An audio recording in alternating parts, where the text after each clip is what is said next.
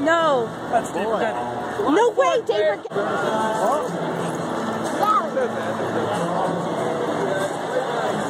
Really nice. It was the first time, but I'm surprised we haven't seen more of them.